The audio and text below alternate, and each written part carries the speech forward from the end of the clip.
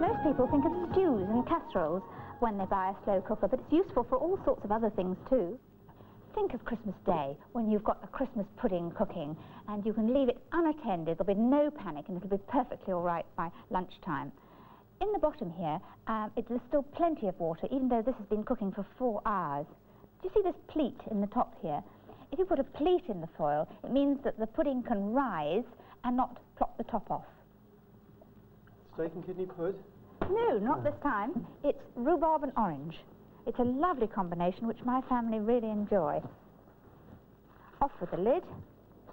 And then when you're going to turn it out, just loosen it round the edge with a palette knife, that's the bendy one. That all helps it to come out in one go. Then a plate on top. A cloth round helps too. Up and over. Feel for me. Then off with the bowl. Oh, that smells lovely. And as it's rhubarb and orange, how about a slice of fresh orange on top? Oh, that's very pretty. And a lovely orange sauce to go with it. Would you like to try it? Thank you. Oh, Oh, never mind. This It's ceramic top is so easy to clean, just with one fell swoop. surface. And it doesn't get into the corners either. Let's have that sauce in the sauce boat. Jenny, how are you getting on over there with your slow cooker? Oh, it's fine, thank you, Mary. Now, excuse me. Can anybody guess what's inside here? Smells winey. One of those posh French jobs, is it then? Well, it's Oh. a drink. It's mulled wine. And a slow cooker is really good for this because it heats everything so gently that you don't boil away all that lovely alcohol you've put in. And have you got everything in there, Jenny? Have you got that finely uh, sliced lemon Mm-hmm. and cinnamon sticks? A couple, perhaps? Absolutely. Cinnamon sticks? Where'd you get those from? Well, actually, they're not hard to find now. You can get them from delicatessens and most supermarkets. And I've also got the brandy in there, Mary. I've got a bit of a reputation, haven't I? no. no, this really is good for a party. And in fact, it's much cheaper than offering your guests, say, a whiskey or a gin. Mm-hmm. Could I ask one of you to put this on the table over there, please? Thank you.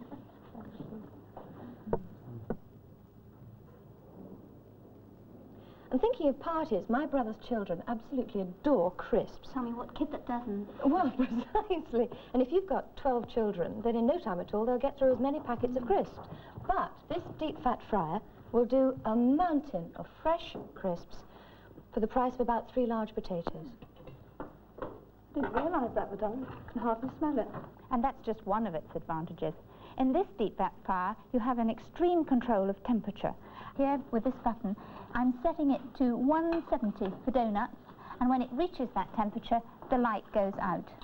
And you heat the oil to just the right temperature, and then you fry actually with the lid on, because this has got a special filter in this lid, and it takes away all the smells.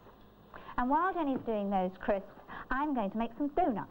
Are those are the ones with the lovely jam inside? They will be. And you're wondering how the jam gets in the middle. Exactly. so, first of all, you need to take a, an enriched dough and roll a ball shape, and you do this in the palm of your hand, pressing down. And then turn it upside down and put the jam in the middle. Now, if you were having these made in a baker's shop, they have a sort of a syringe thing that pipes it in, but we don't have that. So take a little jam. Now, don't be over generous at this stage. If the blob's too big, it'll get all over your hand. You could always add a little bit later. Then pull the dough over the top of the jam, and you don't need any uh, liquid or to stick it down. You can do it just as it is, and then you've got your shaped donut ready to fry. And for ring donuts, at least you wouldn't get jam all over yourself, make a hole in the centre with your finger and evenly round. There we are, like that. And then if you want to make little tiny donuts for the children, take a little piece off a lump, roll it into a round, and then you can fry these little balls uh, in deep fat and then drop them into cinnamon and sugar or just sugar. And I've got some donuts here and you just toss them in in the sugar and they've got that lovely crispy outside. Suppose I wanted to do fish and chips one day and donuts the next. Surely the taste would carry over. Well, no, not if you've got a deep fat fryer like this one, because it's thermostatically controlled and the oil doesn't get too hot, it doesn't smoke, and you get perfect frying every time. And also, you must strain the fat from time to time. Wait till it gets cold, and then strain out those little bits of chips. and they won't burn next time you cook. Well, I think the bread should be ready about now, Mary, so excuse me. Thank you. Oh, yes. What's that at the back? That's the fan in the oven, and having a fan means that you get the heat very evenly distributed over all the shells, so if you've got several things baking at once, you get them beautifully evenly browned. Also, with a fan oven, you use a slightly lower temperature, and that means that you're saving fuel and it costs you less. Now, these look really very good, Mary. What do you recommend as the best glaze for bread? I like to use beaten egg and milk together. Together? Yes. In equal quantities. Now, this is what I want to have a go at next, please, because I've seen it advertised on television, but I've never actually tried it. Nasty things. I wouldn't have one in my kitchen. They're dirty. I, I couldn't help overhearing you, Mrs. Yes. Well, uh, you're wrong, actually. They really are very easy to clean, and they have come with tra- trays like these, and that's got a non-stick lining, uh, which is washed very easily, and also inside the contact grill, that's non-stick too. My children love using these. They do sort of eggs and bacon. It doesn't involve me. I get time off, and they'll even wash it up because, as I say, it's easy to clean. I was thinking of getting one for my flat, maybe for the odd beef burger or even a steak if I can afford it. Well, why don't you try something a little bit more exciting? Something like a gammon with pineapple and a nice spicy topping. Now, what I've got here is uh, mixed spices with a little of the pineapple um, juice blended with it and a little mustard and a little sugar. As you can imagine, that will give a lovely shiny glaze. You put them in the tray like this, and then you put slices of pineapple at the end, and you cook them for uh, in the contact grill for about seven minutes. And it's clamped between the two uh, hot metals, and it cooks beautifully evenly on top and underneath. What's that you're hiding in the corner? Come on, own up. It's uh, some flapjack mixture. It's really delicious, and I cook it in the contact grill. To make flapjacks, first of all, you need to cream the butter and sugar together. Use brown sugar. I like Demerara best. Then add some currants, and then add the rolled oats. That's breakfast oats, porridge oats. And you just work all that together until it clings together. Then tip it out into the contact grill tray, non-stick, so it won't stick. Press it into the sides. Now, this is where the children come in, very helpful in holiday time. They like to pat it out too. Surprised there's any left. it does taste rather good at this stage. Get it well into the corners. And when it's all even, you then cook it in the contact grill until it's a crispy brown colour. Now, Jenny, if you can put this in the preheated contact grill and cook it for about 10 minutes, and I've heated the contact grill at the back here, and these will take about 7 minutes. Well, now we're on to cakes and things. May I show you my favourite panic recipe? It's for Scotch pancakes. Is that the same as drop scone, same recipe? Yes, exactly the same it is. And it really is a good panic recipe because it takes a very short time to mix up the batter and only a minute or two to cook them. And for this, I'm using the multi-purpose cooker as a griddle because it's far more economical. Did you use bicarb, Jenny? For this amount, about a teaspoonful. That's just like my mum used to make. Yes, but I expect your mother didn't have a freezer so that she could freeze them because it, they really do freeze extremely well and taste just as good. You have to cool the pancakes, slip them into a polythene bag, pop them in the freezer, and keep them there for no longer than a month. And when it comes to the time when you want to enjoy them, take them out of the freezer, thaw, and reheat either in the microwave or a multi-purpose cooker. Marvellous. And they are delicious eaten hot. Would anybody like to try one? Mm, thank you. And even better with butter melting all over them or with honey or jam. I've got something really delicious in my multi-purpose cooker, a Hungarian goulash. Let me just turn it off at the mains and pull the plug out. Gosh, it smells good. so I've got it cooking in here, and let me show you the ingredients that I used to make it. Up we come. So, now I've got the lid on, and you have the vent closed at the front here when you're uh, cooking a casserole or a stew, and when you're roasting, you open the vent, then all the steam comes up, and you get a nice crisp outside to that roast. Uh, and now the ingredients. First of all, you need pork. Now that's just a little bit expensive. It's fillet of pork cut in strips very delicious. And you fry the pork fillet uh, in the multi-purpose cooker without the lid. It's a non-stick surface and you can get it beautifully brown. Then you lift that out and you fry mushrooms, sliced mushrooms and onion till they're brown.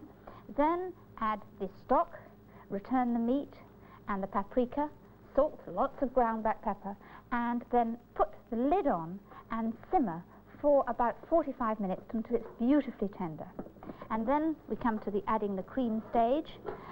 You, um, this is soured cream, and let me give you a tip about the soured cream. If you add just a little bit of corn flour to it, you'll find that when you add it, it doesn't curdle. It goes in beautifully smoothly, just wants a few more moments cooking. And then to make it look really beautiful, a little bit of chopped parsley all over the top.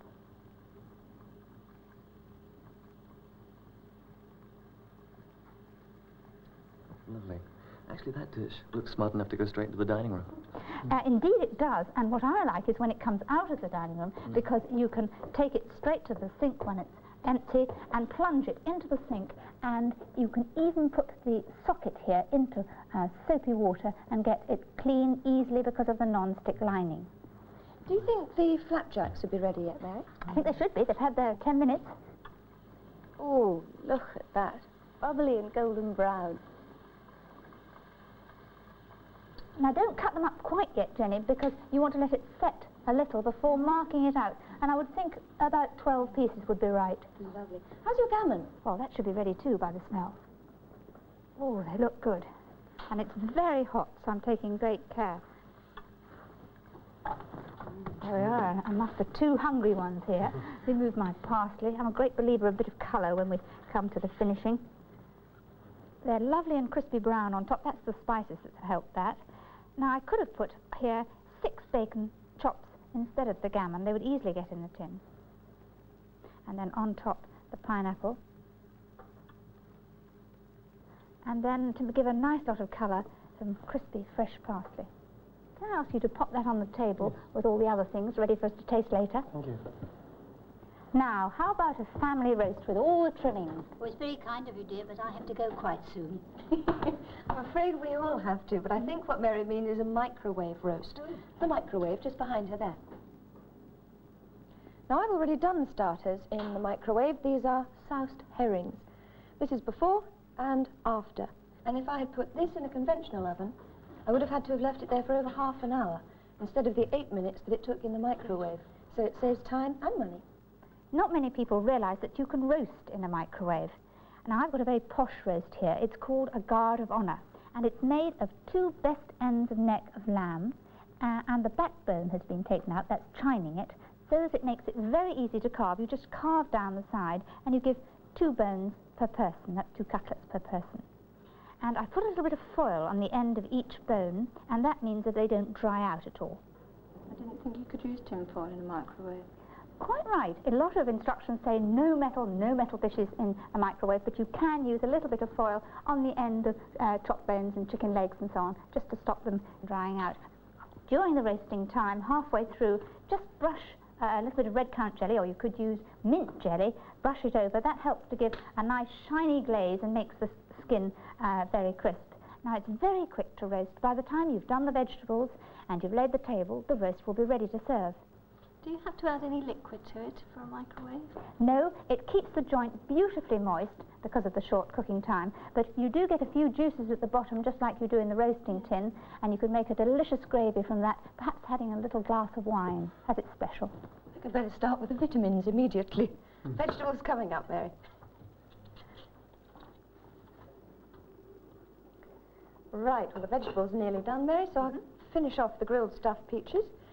It's two peach halves per person, and this mixture is two tablespoons of cake crumbs, one of ground almonds, some almond essence, and some raspberry jam. It May not look good, but it tastes delicious.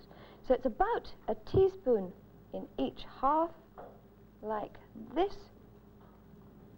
Not exactly cordon bleu, but my husband adores them. Are they fresh pe- peaches, Jenny? Well, these aren't actually, these are tinned, but if you can get cheap fresh peaches, which doesn't happen very often, uh, it is much better, obviously.